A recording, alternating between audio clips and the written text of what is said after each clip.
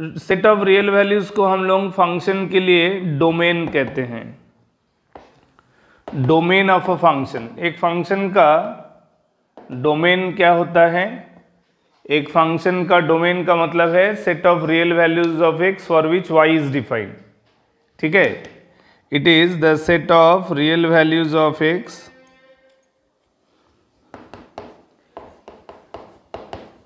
it is the set of real values of x it is a set of real values of x for which for which y is defined यानी कि domain of a function एक हाँ तो जैसे कि मैंने मैं कह रहा था कि domain of a function is the set of real values of x for which y is defined तो इसका मतलब मैं किसी भी फ़ंक्शन का को एग्जिस्ट कराने में कोई भी रियल वैल्यू को एट रैंडम नहीं ले सकता हूँ। कुछ ही, कुछ वैल्यू ऑफ़ एक्स को कुछ पर्टिकुलर रियल वैल्यूज़ के रूप में ही लेना पड़ेगा, जिसके वजह से हम ये कह सकते हैं कि फ़ंक्शन का वाई डिफाइंड होगा। तो जैसे कि उसको समझने के लिए, जैसे मान लो, अगर मैं एग्ज़ाम्पल वाइज देखूँ, मान लो मैं पहला एक एग्ज़ाम्पल लिया कि normally y is equal to two x plus one तो देखो टू एक्स प्लस वन में मैं x का वैल्यू क्या क्या ले सकता हूँ? मैं x का कुछ भी रियल वैल्यू नेगेटिव इन्फिनिटी से पॉजिटिव इन्फिनिटी कोई भी रियल वैल्यू बैठाऊँ तो two into real value plus 1 will always be appearing as a y as a real value only.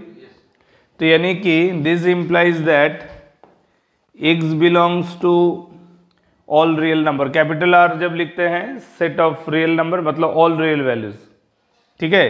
इसको दूसरी तरह से अगर कहें तो x belongs to open interval negative infinity से पॉजिटिव इन्फिनिटी के बीच में हर कोई, हर एक नंबर इंक्लूडेड है। ठीक है? ये तब है जब यहाँ कोई रेस्ट्रिक्शन नहीं है। मतलब मैं ऐसा एक भी एक्स का वैल्यू को यहाँ एक्सक्लूड नहीं कर रहा हूँ, जिसके वजह से मैं कह सकता हूँ कि वाई डिफाइन नहीं होगा।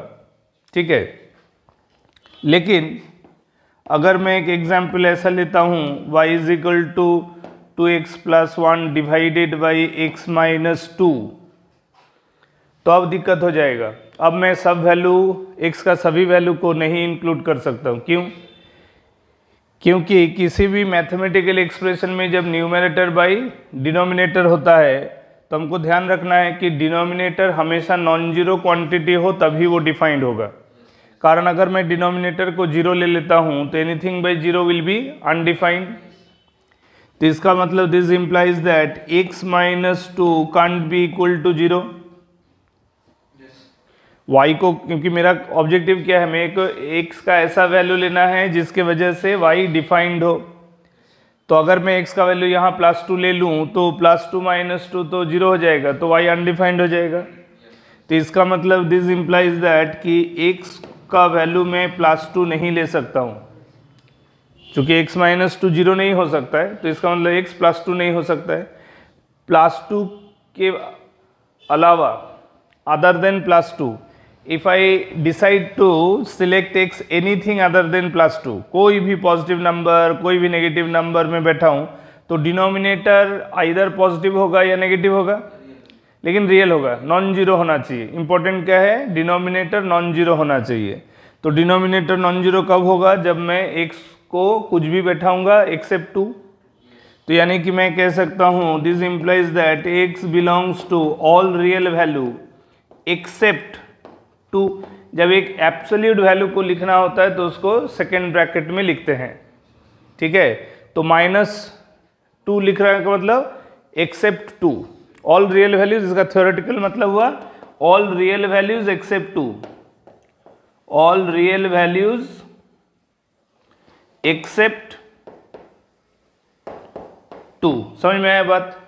All real values except two except two के टू को छोड़ दे तो बाकी मैं कोई भी रियल वैल्यू को इस फ़ंक्शन में ले सकता हूँ। ठीक है? अच्छा इसको जैसे यहाँ, इसको कहते हैं इंटरवल नोटेशन इंटरवल दिखाना मतलब कहाँ से शुरू होके कहाँ तक, इसके बीच में हर एक वैल्यू इंक्लूडेड है। तो इंटरवल नोटेशन में इसी को लिखेंगे तो लिखेंगे x belongs to negative infinity से टू ओपन मतलब टू के पहले तक खत्म हो गया, फिर यूनियन टू के बाद से शुरू होगा पॉजिटिव इन्फिनिटी तक। सिर्फ़ हमारा बीच में मैं ब्रेक कहा किया? टू में। टू नॉट इंक्लूडेड जिसका मतलब ओपन इंटरवल इधर लेफ़्ट साइड में open interval two right side में ओपन इंटरवल टू से शुरू हुआ मतलब टू नॉट इंक्लूडेड समझ में आ रहा है कि डोमेन ऑफ़ अ फ़ंक्शन कैसे लेना है? अब मान लो इसी को मैं एक और केस अगर लूँ, y is equal to x square minus four divided by x square minus nine ऐसा लिखूं। तो अब इसमें तुम x का वैल्यू क्या इंक्लूड करोगे और क्या नहीं करोगे? बोलो।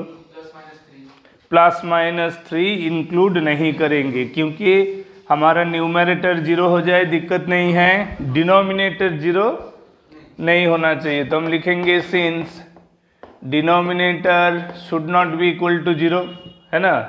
तो यानी कि हम एक्स स्क्वायर माइनस नाइन को ज़ीरो नहीं होने देंगे, यानी कि इसको स्क्वायर माइनस बी स्क्वायर में तोड़ेंगे तो x minus three into x plus three इसको ज़ीरो नहीं होने देंगे, यानी कि एक्स जो है वो प्लस माइनस थ्री नहीं होगा। इसके अलावा कुछ भी ले सकते हैं। तो इसी को लिखेंगे डोमेन के लिए x belongs to all real value minus second bracket में चूँकि एप्सोल्यूट वैल्यू इंटरवल नहीं, सिर्फ़ मेरे को प्लस थ्री और एग्जैक्टली माइनस थ्री ये दोनों वैल्यू नहीं चाहिए। तो मैं उस इसलिए माइनस थ्री प्लस थ्री को अलग कर दिया। और इंटरवल नोटेशन पे लिखेंगे x बिलोंग्स टू ठीक है ना? x बिलोंग्स टू इसको मैं लिख सकता हूँ नेगेटिव इन्फिनिटी से minus three union minus three से plus three, union three to, positive infinity. बात समझ में आया? फाइन ये हो गया हमारा डिनोमिनेटर रिलेटेड टर्म्स को कंसीडर करते हुए हम कैसे डोमेन पर बात कर सकते हैं। क्लियर मान लो इसको मैं और आगे लेके गया if I consider y is equal to under root x square minus four divided by under root of x square minus nine अब क्या करेंगे? अब डिनोमिनेटर रूट में भी है। ठीक है? तो हमको चाहिए x का ऐसा वैल्यू ले ताकि मेरा y डिफाइंड हो रियल हो डिफाइंड हो। ठीक है ना? तो इसका मतलब है कि जब भी डिनोमिनेटर में अंडर रूट रहेगा। ठीक है? तो ये डिनोमिनेटर अंडर रूट मीन्स जो डिनोमिनेटर एक्सप्रेशन है, उसको मैं सिर्फ़ और सिर्फ़ पॉजिटिव ले सकता हूँ। पहले क्या था कि डिनोमिनेटर को मैं सिर्फ़ ज़ीरो नहीं ले सकता हूँ। बाकी पॉजिटिव नेगेटिव ले सकता हूँ। लेकिन वही डिनोमिनेटर जब अंडर रूट में रहेगा अब मैं डिनोमिनेटर को ज़ीरो तो ले ही नहीं सकता हूँ being it is denominator part और ये रूट के अंदर है मतलब मैं नेगेटिव भी नहीं ले सकता हूँ। क्यों? क्योंकि नेगेटिव नंबर्स का स्क्वायर रूट रियल सॉल्यूशन नहीं होता है। That is an imaginary number since since under root of a negative number implies that imaginary solution. बात समझ में आया? हमको तो रियल सॉल्यूशन चाहिए। तो इसीलिए मैं नेगेटिव नहीं ले सकता हूँ। इसीलिए मेरा आर्गुमेंट सिर्फ़ क्या होगा? डिनोमिनेटर पॉजिटिव और उसी आर्गुमेंट के अकॉर्डिंग अब हमारा एक्स स्क्वायर माइनस नाइन जो है, वो सिर्फ़ पॉजिटिव होना चाहिए। और उसको सिर्फ़ पॉजिटिव बनाने के लिए जो जो एक्स हमारा रेस्पॉन्सिबल हो सकता है, वही एक्स इस फ़ंक्शन का डोमेन होगा। बात समझ में आया? तो अब इसको सॉल्व करेंगे तो फिर से लिखेंगे x plus three into x minus three greater than zero तो देखो क्वाड्रेटिक का फैक्टराइजेशन अब हमारा काम आएगा कि नहीं?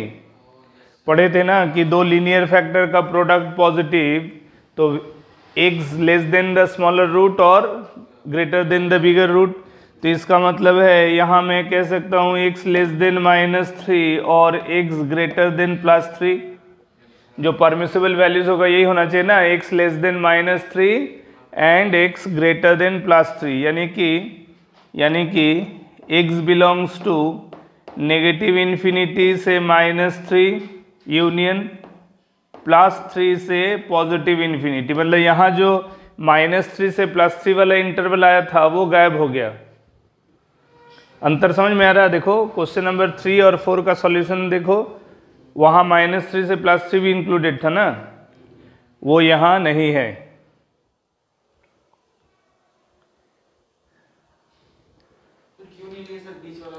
कारण है कि मेरे को तो इस एक्सप्रेशन को, चूँकि रूट के अंदर है और डिनोमिनेटर है, इसको नेगेटिव नहीं लेना है।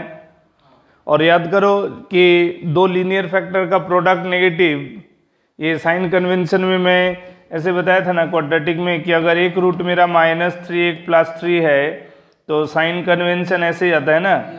यहाँ पॉजिटिव यहाँ पॉजिटिव यहाँ नेगेटिव तो मेरे को तो एक्सप्रेशन को पॉजिटिव रखना है ना? तो इसलिए लेस देन माइनस थ्री और ग्रेटर देन प्लस थ्री चूँकि coefficient of x square positive है कंडीशन क्या था? A a x square plus b x plus c a condition wise positive होता है जब तब ये रेंज डिफाइन होता है। तो यहाँ ए पॉजिटिव है तो इसलिए less than the smaller root greater than the bigger root will make the expression positive